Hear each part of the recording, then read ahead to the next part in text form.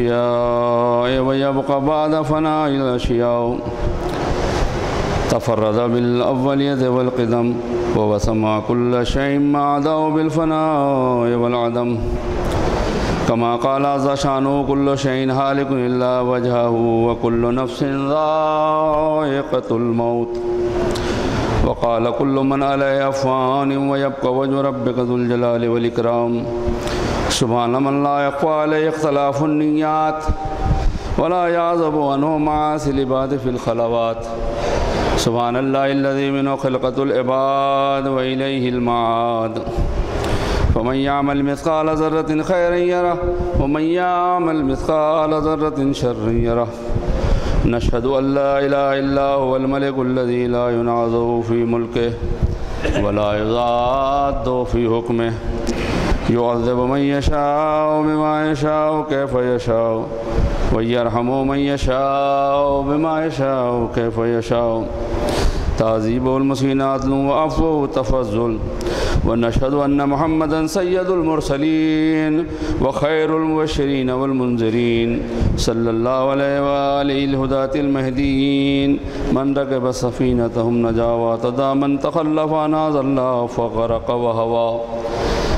बसमीम अल्लाम वलीकलहजत इबन हसन सलावातुक वाला बोय फ़ी हाजसात वफ़ी कुल्लसा वलीम वहाफ़ा वक़ायदम व नासरा व दलीलम आइना हती तुस्किन अर्ज़ का तवा व तुमत फ़ी हा तवीला।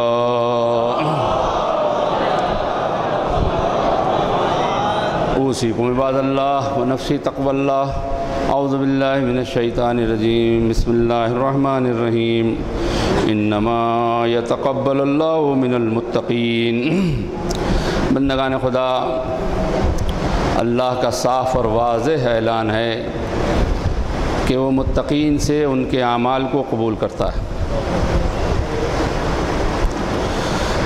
तकवा इख्तियार करना मुतकी होना परहेजगार होना हमारी ज़रूरत है। इसलिए कि इसके बग़ैर हम इंसानियत के दुनियावी और उखरवी दोनों मदारिज तय नहीं कर सकते, अगर तकवा न होगा। आमाल की कबूलियत का दारो मदार तकवे पर परहेजगारी पर है। अगर किसी ने तकवा इख्तियार किया तो सख्तियाँ उसके नज़दीक आने के बाद भाग जाएँगी। उसके करीब नहीं रुकेंगे। आती हैं सख्तियाँ मुश्किल आते हैं, लेकिन मुत्तकी और परहेजगार के पास आने के बाद सख्तियाँ दुशारियाँ भाग जाती हैं, दूर हो जाती हैं। मामलात तलखी में जाने के बाद फ़ौर शीरनी में बदल जाते हैं। मौलाए कायनात हज़रत अली इबन अबी तालिब के अकवाल हैं, ये आपका फरमूदात हैं, ये जो मैं आपकी खिदमत पेश कर रहा हूँ। मामला तलखी में जाने के बाद फ़ौर शीरनी में बदल जाते हैं। कितनी तलखी हो जाए, लेकिन सुबह को इन शीरनी हासिल हो जाती है। और इंसान शाम तक सुबह से शाम तक तलखियाँ बर्दाश्त करे तो शाम तक शीरनी उन मामलात में हो जाती है और इतमान हो जाता है इंसान को। मुश्किलात की मौजें। उसको अपने घेर यानी चक्कर, आपने देखा होगा दरिया में जब पानी बहता है और चक्कर आता है उसमें और उसमें अगर कोई फंस जाता है अलहमदिल्ला तैराक लोग, पैराक जिसे कहते हैं, बहुत से अफराद हैं और आज भी उससे शौक़ रखते हैं, वो जानते हैं उन जगहों को और उनको। अब तो गोमती सूखी पड़ी है, उसमें कुछ मामला ही नहीं है, लेकिन जिस ज़माने में उसमें पानी होता था तो जो लोग बच्चे तैरने जाते थे वहाँ, उनको कहते थे देखो फलां जगह ना जाना, वहाँ चक्कर है। वहाँ चक्कर फड़ता है, वहाँ चक्कर होता है तो वो चक्कर, मुश्किलात की मौजें, उसको अपने घेरे में, चक्कर में लेने के बाद उसके रास्ते को खोल देंगी। अगर कोई साहिब तकवा और परहेजगार है तो ख़ुद ब खुद मौजें उसे रास्ता दे देंगे वहाँ से, मुश्किलात की कि यहाँ से निकल जाओ आप, और वहाँ से हट जाएँगे। मौला फरमाते हैं, बेशक अल्लाह का खौफ हिदायत की किलीद और आखरत का ज़रिया है। ख्वाहिशों की हर ग़ुलामी से आज़ादी और हर तबाही से रिहाई का बाइस है। इसके ज़रिए तलबगार मंजिल मकसूद तक पहुँच जाता है। तकवा अख्तियार कर, बंदगान खुदा। मुत्तकी और परहेजगार के लिए सारी चीज़ें हैं। अच्छे अमाल बजा लाओ। जोफ़ पीरी की तरफ़ पलटाने वाली उम्र।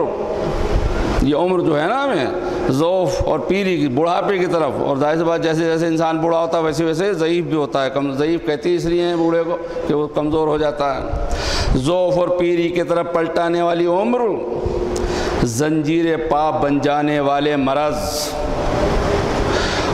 झपट लेने वाली मौत से पहले आमाल की तरफ़ जल्दी करो। अल्लाह ने जो हुक्म हमें दिया है वाजिब, उन पर अमल करो। ऐसा ना हो कि दूसरे सबकत कर जाएँ आमाल में और हम पीछे रह जाएँ। लिहाजा हमें कबल इसके कि ज़ोफ़ आ जाए, पीरी आ जाए, मरद लाक हो जाए, या फिर मौत हमें झपट ले कहीं से, इसलिए कि मौत कमी गाँव में बैठी हुई है और हमें देख रही है। जैसे ही हुक्म खुदा होगा, वैसे ही वो हमारे ऊपर झपट पड़ेगी। लिहाजा हमें चाहिए कि हम उसका ख्याल रखें और बार बार उसका ख्याल हमें होना चाहिए। तकवा और परहेजगार इंसान, मुत्तकी और परहेजगार इंसान शैतान के किसी भी मकरो जाल में नहीं फंसता। अगरचे शैतान मुख्तलिफ़ जाल रखता है फंसाने के लिए इंसानों को। हर एक के अतबार से उसका वैसे ही जाल होता है। के लिए बड़ा मज़बूत वाला जाल बनाया हुआ है उसने। आम पब्लिक के लिए छोटा मोटा हल्का ही सा जाल। आपने कभी मछलियों का शिकार करते अगर दरियाओं में समंदरों में देखा हो तो छोटे छोटे भी जाल होते हैं ज़रा ज़रा से किनारे ही पे अपना वो पानी को उलचा करते हैं। कुछ लोग बड़े बड़े जा बड़ी बड़ी मछलियों के शिकार बड़े बड़े जाल लेके जाते हैं। तो शैतान भी इसी तरह इन इंसानों को मछली समझता है शिकार की और मुख्तलिफ़ जालों में इन्हें फंसाता है। और हर एतबार से वो तो हमें शैतान के हर जाल से अपने आप को अगर बचाना है तो तकवा अख्तियार करना ही पड़ेगा। और तकवा एक ऐसा हाला है एक ऐसा लिबास है कि जो शैतान को हम तक पहुँचने नहीं देता। दूर ही रहता है। छठे इमाम इमाम जाफिर सादिक इरशाद फरमाते हैं कि बनी इसराइल में एक मुत्तकी और परहेजगार इंसान था, जो हर वक्त यही कहा करता था, अल्हम्दुलिल्लाह रब्बिल आलमीन वल आक़िबतु लिल मुत्तकीन। तमाम तारीफ़ अल्लाह के लिए हैं और आकबत मुत्तकीन के लिए यानी अंजाम बखैर मुत्तकीन ही का होने वाला है, मुत्तकीन ही के लिए। शैतान को उसके इस जुमले से और इस ज़िक्र से और इस विरद से बड़ी तकलीफ़ थी। उसने अपने एक शागिर्द को, शैतान के बहुत से चेले हैं कभी कभी पता नहीं चलता कि शैतान के चेले कौन है, लेकिन कभी कभी मौका ऐसा आता है कि उनके चेहरों से नकाब उड़ जाती है, खुद ब खुद पता चल जाता है कि शैतान के शागिर्द और चेले कौन कौन है, पता चल जाता है। तो उसने अपने एक शागिर्द को इस बात पे लगाया कि तुम इसका ज़िक्र बदलवाओ और इससे ये कहलवाओ कि वल आ के बतो लिल अगनिया। मुत्तकीन के बजाय इसे अगनिया कहलवाओ, यानी दौलतमंदों की आकबत अच्छी होती है, दौलतमंदों के लिए आकबत है, उन्हीं का अंजाम, जिनके पास माल सरमाया है, जो समाज में कुछ भी करने की हैसियत रखते हैं। उनको कहो कि उनका अंजाम अच्छा है, लिहाजा वो आया हो। और उसने आने के बाद उससे कहा कि ये ज़िक्र न कहो, करो, ये ज़िक्र करो। वल आके बतो लिल मुत्तकीन न कहो, बल्कि वल आके बतो लिल अगनिया कहो। उसने कहा, ये तो हो नहीं सकता। मुख्तसर, बस मैं आपको, ये तो हो नहीं सकता कि मैं इस ज़िक्र को छोड़ूं। ये हमारे लिए सबक है कि अगर हम, जो हक हमारे नज़दीक साबित है, और हक तो साबित होता ही है तो उसी पे रहें और उसी के ऊपर साबित कदम रहें तो अल्लाह हमारी गैब से मदद करेगा। कहता है कि मैं तो नहीं करूँगा इसे तुम्हारे कहने से। कहा, नहीं, तुम्हें करना पड़ेगा।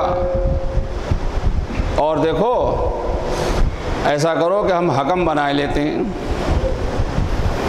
वो जो फैसला करे तो एक सामने से आ रहा था, तय ये हुआ कि अगर वो तुम्हारे हक में फैसला देगा तो मेरा एक हाथ कट, काट लेना तुम। तो सामने से जो आया हकम, जिसके लिए कहा था कि जो आए उसे हकम बनाने का फैसला करने के लिए तो वो हकम उस ज़बाने का अबू मूसा अशरी जैसा था। उसने जो है उसी शैतान के हक में फ़ैसला दे दिया। और कहा कि है, आकबत जो है वो अगनिया के लिए है। तो शैतान ने पढ़ के उसका दान हाथ काट दिया। मगर उसके बाद भी वो यही कहता रहा कि नहीं, आकबत मुत्तकीन के लिए है, और मैं दूसरा हाथ भी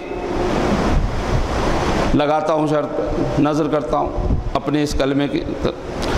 इतफाक़ से दोबारा भी वही शख्स उधर से आया, उसने फिर कह दिया कि नहीं आकबत जो है वह अगनिया के लिए है, मालदारों के लिए। उसने दूसरा हाथ भी, उसका बायां हाथ भी दोनों हाथ लिए हुए कह रहा है कि आकबत तो मुत्तकीन ही के लिए है। उसने कहा, नहीं, कहा, मैं सर की बाजी लगाता हूँ। अभी वो सर की तरफ़ बाजी लगा ही रहा था कि सामने से एक नेक परहेजगार मुतकी शख्स आ रहा था। जी, अल्लाह की तरफ़ से मदद है। तो उसने बात सुनी उनकी और उसके बाद ये कहते हुए कि तुम सही कह रहे हो कि आकबत अगनिया के लिए नहीं, आकबत जो है मुत्तकीन के लिए, ये कहकर शैतान पे हमला किया और उसका सर जुदा कर दिया। और उसे बताया कि देख, ये होता है, आकबत मुत्तकीन के लिए कि ये मुत्तकी कह रहा था कि उनके लिए ये बच गया और तू शैतान जो इसे बहकाने आया था, तेरा सर तन से जुदा हो गया।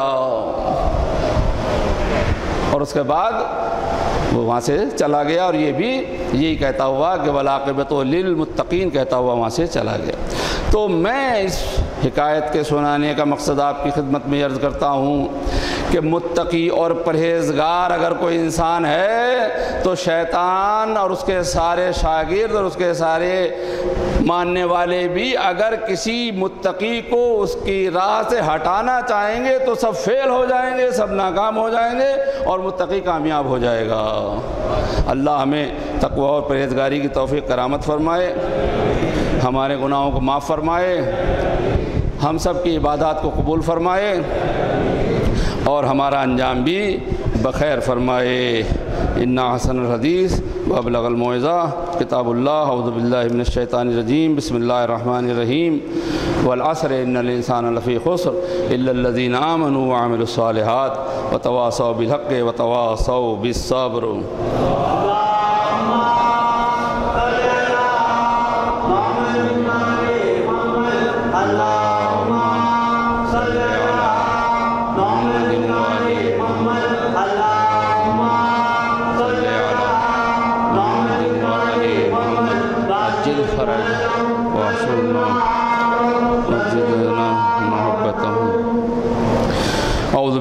अज़बिल्लिमिनशैतानरजीम बसमीम अलहमदिल्लाहलीमुलकरीम गाफ़िरज़म्ब सुबहान मन सबक़त रहमत गज़बा वसतलदन बिर्रहमा सुबहान मन लम नफ़सन दून वसहा व अफ़ान सयात वलम जुजाज़बहा सुबहान मल्लाज़ादमासिलबाद करम वजूदा वाला कसरत जुनूब फ़म वसफ़ा नशद अल्लाबाद वजूद वलवादमदनबीन बहलम व नशद महमद नबी हबीबा। सैदुलमरसलिन व शफ़ीमदनबीन बासरहमतमीन सल्लादाइन सबील बिलमत वलमज़तलहसना क़ादतलम वलिया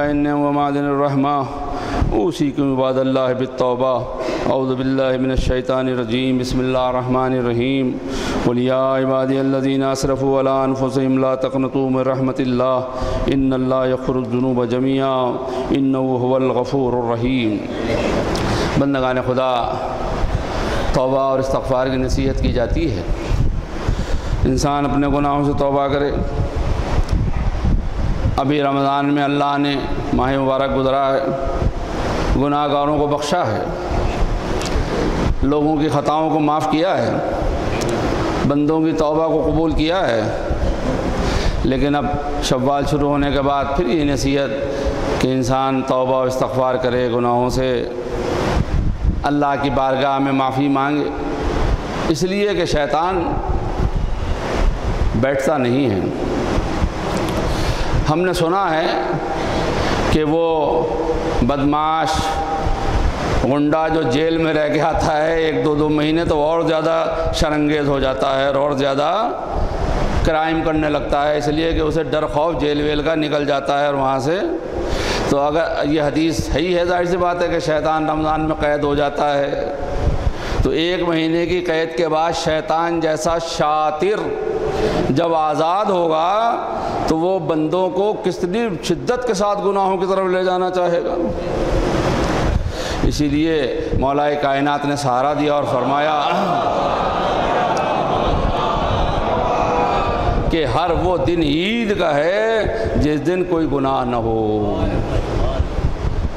लिहाजा पूरे साल इस बात की कोशिश करनी चाहिए कि कोई गुनाह ना हो, ताकि हर दिन ईद का करार पाए हमारे और उसके अल्लाह की बारगाह में हम मुकर्रब हो जाएँ। माह शव्वाल की आज दो तारीख़ है। ये महीना बहुत अहम है। अगर मैं ये कहूँ तो बेजा ना होगा, बल्कि बजा होगा कि आज दो शव्वाल है, आज यौम खंदक है। यौम खंदक। आप समझ गए हदीस की तरफ़ आप चले गए होंगे, मौलाए कायनात की एक ज़रबत। मौला की एक ज़रबत यौम खंदक वाली इबादत सकलैन से अफजल है। तो आज जंग खंदक वाक़ हुई थी, पाँच हिजरी में। जंग बद्रो, जंग अहद हार जाने के बाद मुशरकिन बड़ी तादाद में तमाम कबाइल को इकट्ठा करके मक्के के आए थे, मदीने पे चढ़ाई करके। और वो अपने जोम में ये समझते थे कि इतनी बड़ी ताकत हम लेके जा रहे हैं, इस्लाम और बानी इस्लाम को ख़त्म कर देंगे। और गुरूर और तकबर का आलम यह था कि वो ये समझते थे कि चूँकि हमारे साथ अरब का सबसे बड़ा पहलवान है, सबसे बड़ा बहादुर सजा है, लिहाजा उसके होते हुए हम जंग नहीं हार सकते। इसलिए कि उसका सिक्का तमाम अरब में बैठा हुआ था शजात का, नाम था उसका आमर इबन अब्द वद। वो उनके साथ था। जब ये ख़बर मिली कि पाँच हज़ार का लश्कर लेके अबू सुफियान आ रहा है, अल्लाह उस पर लानत करे और उसी औलाद पर भी लानत करे। तो वो पाँच हज़ार का लश्कर लेके आ रहा है तो यहाँ मदीने में खबर जो है वो पाँच हज़ार का लश्कर है। जबकि ये भूल गए थे कि पहले तीन हज़ार का लेके आया था उहद में उसमें भी तो हार का मुँह देखना पड़ा था। और एक हज़ार लेके बद्र में आए थे मुशरक, उसमें भी तो हार का मुँह देखना पड़ा था।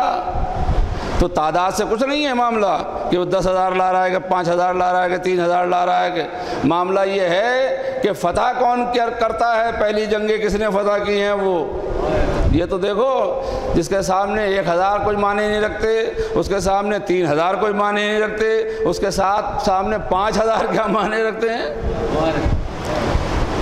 जो अल्लाह का शेर है, जो लाफता है, उसके सामने क्या मामला? लेकिन फिर भी, खैर वो, ये हुआ कि खंदक खोद ली जाए जनाब सलमान फ़ारसी ने, मशवरा दिया कि हमारे यहाँ फ़ारस में, ईरान में इस तरह से जंगें होती हैं। खैर वो जंग, खंदक खुदनी शुरू हो गई। पाँच किलोमीटर लंबी तकरीबन वो तारीख़ बताती है कि खंदक खोदी गई थी। अब उसके आसार मिलते नहीं हम लोग जो लोग गए हैं, हज में, वो जाते हैं वहाँ के ऊपर। कई मस्जिदें हैं, वहाँ सुना आप तो काफ़ी, हम तो 2009 में गए थे। अल्लाह, उसको भी कबूल करे और आइंदा भी तोफ़ी दे और तमाम मोमिन को और तमाम मोमिनत को हज की सादत नसीब हो और मदीन मनवरा की ज़्यारत से मुशर्रफ हों और उन सब मकाम को देखें। कुछ कुछ आसार हैं, कुछ मस्जिदें हैं, कुछ और चीज़ें हैं। तो जनाब सलमान फ़ारसी की मस्जिद है, जनाब फ़ातिमा ज़रा सलाम की मस्जिद है, मौलाए कायनात की मस्जिद है वहाँ। उन मस्जिदों में नमाज़ उस वक्त नहीं पढ़ने दी थी। एक और किसी के नाम से एक मस्जिद बनाई तो मैंने उसी के सामने खड़े होकर कहा कि जब इन नामों की मस्जिद में नमाज़ नहीं पढ़ने दे रहे हो तो हम इस नाम की मस्जिद में नमाज़ नहीं पढ़ेंगे। लिहाजा हमने नहीं, नहीं पढ़ी वो नमाज़ उसमें जाकर तो बहरहाल वो बात बढ़ जाएगी और खुतबे में इतना गुंजाइश नहीं होती। तो हुआ ये कि खंदक खोद दी गई। अब चूँकि अरब में वो तरीक़ा राइज नहीं था जंग का लिहाजा जब लश्कर आया तो उसे खंदक के उधर को नहीं पड़ा। अब वो देखने के भाई तो बड़ी गहरी खंदक खुदी हुई है। अट्ठारह हाथ चौड़ी और कितनी गहरी और ये सब उसका वो था सब लिखा है तारीख़ ने। तारीख़ में सब बातें महफूज हैं। तो वो जो उनका सबसे बड़ा पहलवान था और सबसे बड़ा आ, सिपाही था गोया के वो घबराया कि ये मामला क्या है? वो तो सोच रहा था कि बस जाती हमला कर देंगे और जंग को फतह कर लेंगे, लेकिन बीच में खंदक आ गई। ये अल्लाह का इंतज़ाम है। तो मैं यहाँ पे मुद्दा सुनाना चाहता हूँ कि किसी की बड़ी ताकत और किसी की बड़ी फ़ौज से घबराइएगा नहीं। अगर अल्लाह आपके साथ है तो दरमियान में ऐसी खंदक खोद देगा कि दुश्मन आप तक पहुँच नहीं पाएगा। उसी को उधर ही रह जाएगा। और खंदक ना भी हो तो अगर कोई अलमदार अपनी तलवार की नोक से एक ख़त खींच देगा तो लश्कर उधर ही रह जाएगा, इधर नहीं आ पाएगा।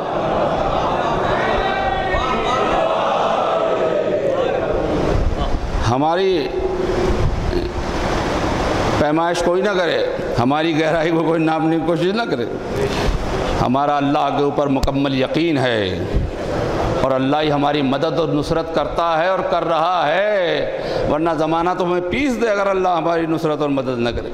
बहरहाल, एक जगह उसे मिल गई जो कुछ कम थी। तो उसने वहीं से घोड़े को फंदा दिया। अब उसके लिए बोरखीर ने बहुत कुछ लिखा है, लेकिन मैं यहाँ नहीं अर्ज़ करना चाहता। खैर, वो बहरहाल इधर आ गया, सारा लश्कर उधर और ये अकेला इधर।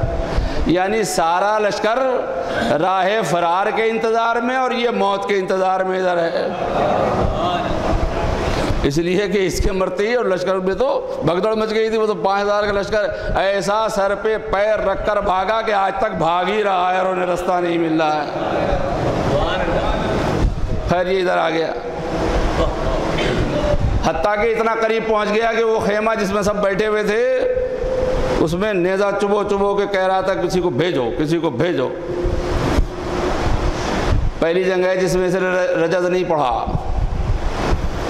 तारुफ कराते ना कराते थे सिपाही उस ज़माने में अपना कौन हूँ, मैं क्या हूँ? इसलिए कि अंदर जो खेमे में बहुत से लोग ऐसे बैठे थे जो इसका कसीदा पढ़े थे, वहाँ बैठे हुए। इतना पहलवान है, इतना बहादुर है, इतना जरी है, इतना दिलेर है, ऐसा है, वैसा है तो इसे क्या कहने की ज़रूरत थी? जब वहाँ लोग कह ही रहे थे। सब ऐसे बैठे थे वहाँ, जैसे सरोपत तायर बैठ बैठ गए हों। गर्दन नहीं हिला सकते।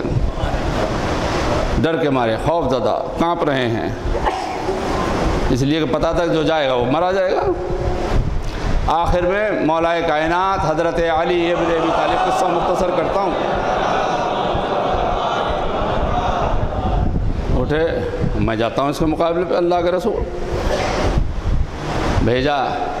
अंदर सारे लिबास को पहना दिया, जो फौजी लिबास होता, हालाँकि मौला को उसकी ज़रूरत नहीं थी, लेकिन किसी ने पूछा था, या अली, आपकी ज़रा ऐसी है कि आगे थोड़ा सा लोहा लगा और पीछे कपड़ा है?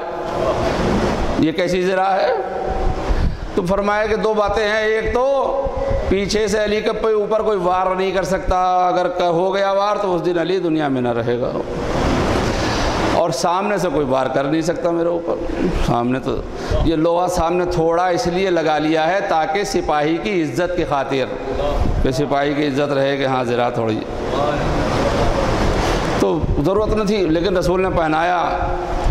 सब कुछ लिबास खेमे के अंदर पहनाया और बाहर तशरीफ़ लाए और मौलाए कायनात का बाजू पकड़े हुए थे और वहाँ पर दस्तारे रसूल सर पे बाहर आके रखी अम्मा। जब सारा लिबास अंदर पहनाया तो दस्तार भी अंदर ही पहना देते। लेकिन पैगंबर दिखाना चाहते थे, अंदर वाले भी देख लें और बाहर वाले भी देख लें कि मेरी दस्तार का वारिस अली इबन अबी तालिब सलाम है। लिहाजा सबके सामने रख रहा हूँ।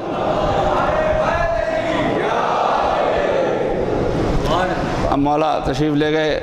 रसूल ने कहा कि कुल्ले ईमान, कुल्ले कुफ्र के मुकाबले में जा रहा हूँ। तशरीफ़ ले गए। उसने भी कुछ कहा कि चले जाइए और बच्चे हैं और ये हैं और वो हैं और वो हैं। मौलाना फरमाया, तुझे इससे सबसे क्या मतलब है? सुना है कि तो दो में से एक बात कबूल कर लेता? मुझे कहा हाँ।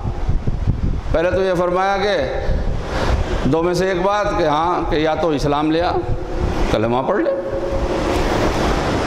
मौलाना ने इसलिए कहा था कि ये कलमा पढ़ लेगा, तब वो जंग हार गए।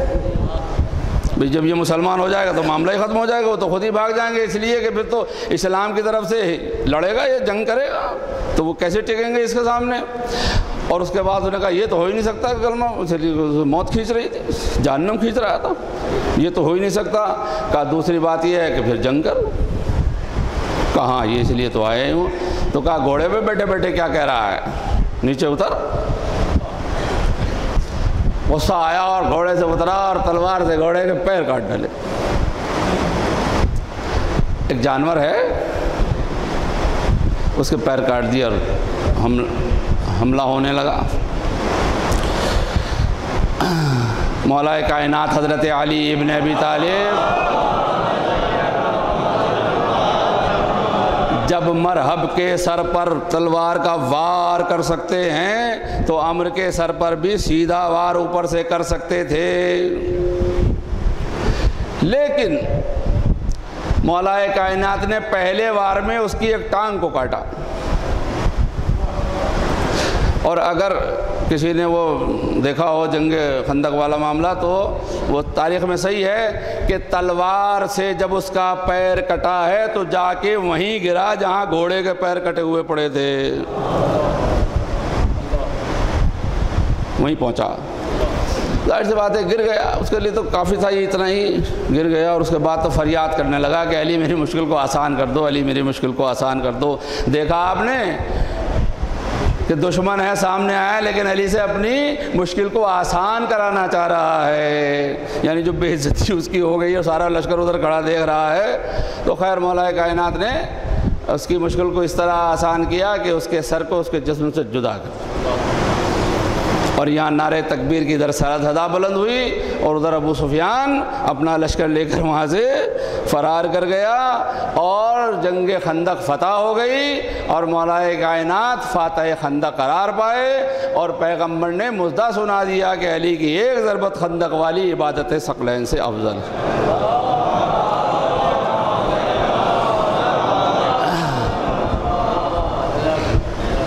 दो के बाद पाँच शवाल आ रही है। वो भी अहम तारीख़ है। साठ हिजरी जनाब मुस्लिम इबन अकील सफ़ीर इमाम हुसैन कोफे में वारिद हुए। तारीख़ का बहुत अहम वाक़ है। रवाना किया तो लिख के भेजा। जो समझने वाले समझेंगे। क़यामत तक के लिए फ़ैसला कर दिया जो लिखा कि मैं अपने अहले बैत में मोतमद तरीन को तुम्हारी तरफ़ भेज रहा हूँ। ये जो फ़ैसला करेगा, मेरा फ़ैसला होगा। सुलो करे तो सुलो, जंग करे तो जंग, बैत ले तो बैत, जो भी करे, ये मेरी तरफ़ से सिका है मोतमद है। उस ज़माने में सफ़ीर कहते थे, आज के ज़माने में वकील कह लीजिए। सफ़ीर इमाम हुसैन, जो वकील भी थे। और उन्होंने जाके वहाँ इतना अतमाद मौला का था कि जो उन्होंने किया, उस पर ही मौलाए कायन, मौलाए इमाम हुसैन सलाम ने अमल किया। उन्होंने जो ख़त वहाँ से लिख के भेजा कि तशरीफ़ ले आइए तो उसी ख़त की बुनियाद पर मौला वहाँ से चले, मक्के से, हज को उम्र से बदला। ऐसे मोतम सफ़ीर, जनाब मुस्लिम नकील पाँच शवाल को कोफे में वारिद। और धीरे धीरे फिर वो रास्ता हमवार हुआ और बैत ली जाने लगी। लेकिन बाद में लोग फिर गए और जो नतीजा हुआ वो आपके सामने ही है। अभी 1926 में 21 अप्रैल को और 8 चव्वाल तेरह में एक ऐसा वाक़ हुआ जिसे इनहदाम जन्नतुलबकी कहा जाता। वो भी इसी शव्वाल में इतफाक़न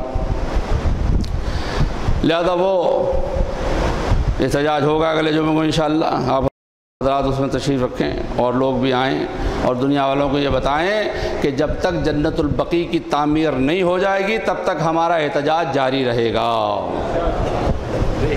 और हम एहतजाज करते रहेंगे। इस सवाल में आप कहेंगे, देखिए, अभी तो मुश्किल से रोज़े पूरे किए थे और अब ये फिर रोज़े का हुक्म दे रहे हैं। शव्वाल के रोज़े मुस्तहब हैं। चार शवाल से नौ शवाल तक छः रोज़े मुस्तहब हैं शवाल अक्सर लोग इन रोज़ों को रखते हैं। मसलहत क्या है? अल्लाह की, वो अल्लाह बेहतर जानता है, लेकिन मर्द तो सफ़र में जाएँ या कोई मरद वरद हो जाए तब रोज़े छूटते हैं, लेकिन ख़वातीन के अक्सर रोज़े छूट जाते हैं रमज़ान। तो तशवीक़ दिलाई गई है कि औरत और मर्द साथ मिलकर अगर ये मुस्तहब रोज़े रखें, चार शव्वाल से नौ शव्वाल तक तो सारे घर भर में फिर रोज़े का माहौल हो जाएगा। और औरतें ये ना समझेंगी कि हमारे ऊपर कोई अलग से हुक्म आयत किया जा रहा है। उनके वाजिब भी हो जाएँगे और मर्दों के मुस्तहब हो जाएँगे। और वाजिब नहीं है तो वो भी मुस्तहब रखें, इसलिए कि माहौल रमज़ान के बाद भी रमज़ान जैसा घर में कुछ दिन के लिए फिर बन जाएगा। बंदगान खुदा बस वक्त तमाम हो रहा है। मैं अपने कायद मिलत से माजरा चाह रहा हूँ इस वक्त कि उन्हें वहाँ बैठना पड़ा नीचे कल, लेकिन इसमें मेरी कोई वो नहीं है। एक तो वक्त की पाबंदी और दूसरे लोगों को इतमान एक इतमान की लफ्ज़ आई नहीं आई है सामने।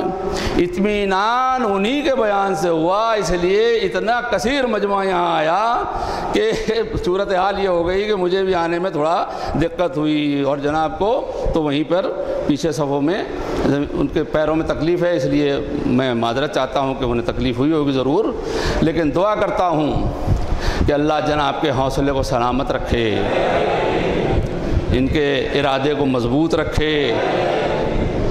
और इनकी वजह से हम खुद कफ़ील हैं। वरना हमें इधर की हवा इधर बहा के ले जाना चाहती है और इधर की हवा इधर बहा के ले जाना चाहती है। बस इससे ज़्यादा मैं कुछ और नहीं कहना चाहता। अल्लाह जनाब को सेहत व सलामती के साथ हमारे दरमियान कायम दायम रखे। इनके साय को हमारे सरों पर रखे। तमाम जो मरीज़ हैं, उन्हें शिफाए कामिल आजिल इनायत फरमाए। तमाम मकरूज जो है, उनका कर्ज अदा हो जाए। तमाम वो लोग जो परेशान हैं, परेशानियाँ दूर हो जाएँ। अल्लाह ालिमों को नस्त नाबूद फरमाए, मज़लूमों की हिमायत फरमाए और हमारे इमाम ज़मान के जहूर में ताजील फरमाए। हम सबको उनके आवान अनसार में शुमार फरमाए। अउज़बिल्लिनशैतानरजीम बसमीम इन वमलाइकतूसलून नबी। याजीना मनु सल्लु वसलम तस्लीमा। अल्लाम सल सैदमरसलिन व शफ़ीलमदनबीन नबीना महमदिन सल्ला वाला इमामसलमिन वक़ायदलगरमहजलिन अमीरमिन अली इबन अबी तालब वाला सैदत नसाईलमीन वबदत ख़ातमनबीन सैदना फ़ातमत बिनत रसूल महमद वाल महमद वालहसनमशतबा महमद वलहुसैन शहीद बकरबला वाली इबन हुसैन व मोहम्मद इबन अली। व जाफ़र इबन मोहम्मद। व मूसा इबन जाफ़र। वाली इबन मूसा, व मोहम्मद इबन अली, व अली इबन मोहम्मद वलहसन इबन अली अलैहिस्सलातु वस्सलाम। अल्लाहुम्म सल्लि अला मौलाना साहिब ज़मान व सल्लि अला मुहम्मद व आलि मुहम्मद। मा या सारिब तगयान, हादिम अबनियत शिरक व निफाक, हासिद फरूल बगल व शिकाक। सलवातुल्लाह व सलाम अलैहि व अला आबाइल किराम मत्तसल अली वलैयाम साहिल मखरजा व कुल नादरना बिनज़रति मिन्ना व जलना मिनल मुस्तशदीन बैन यदै, व तफज़ल अमराइन अलमुमिनीन मदीद तौफीक़ात, व ज़ियादिल इक़बाल व उलूव दरजात। अल्लाहुम्मा फल बिना मान तालो वला तफल बिना मा नहनु आलो। बिजाय मोहम्मदिन व आलिहिल मासूमीन, सलावतुल्लाह अलैहिम अजमईन। अल्लाहुम्मा जलना मिम्मन यज़क्करु फतनफु ज़िक्रा। इन्नल्लाह यामुरु बिल